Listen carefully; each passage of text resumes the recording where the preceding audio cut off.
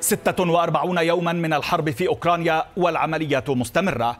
انسحاب من الغرب وإعادة تموضع في الشرق. وأمام تغييرات بالخطة لا الهدف. روسيا بنصف هزيمة ونصف انتصار والخاسر الوحيد هم الضحايا. وفيما تستعد أوكرانيا لخوض معركة كبيرة في شرق البلاد هدف موسكو الآن يتواصل إجلاء المدنيين خوفا من ساعة الصفر فكييف مستعدة للمعركة الكبيرة؟ ويبدو المستنقع الأوكراني أكبر مما توقعه بوتين الذي يرغب بحسم سريع قبل التاسع من مايو المقبل كما سنشرح بالتفاصيل. وأمام هدف بوتين كان خيار تغيير قائد العمليات الروسية في أوكرانيا الجنرال ألكسندر دفورنيكوف مهندس العمليات العسكرية في سوريا.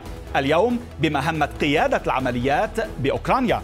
واشنطن توقعت عبر مستشارها للأمن القومي أن يرتكب رجل بوتين الجديد جرائم وحشية.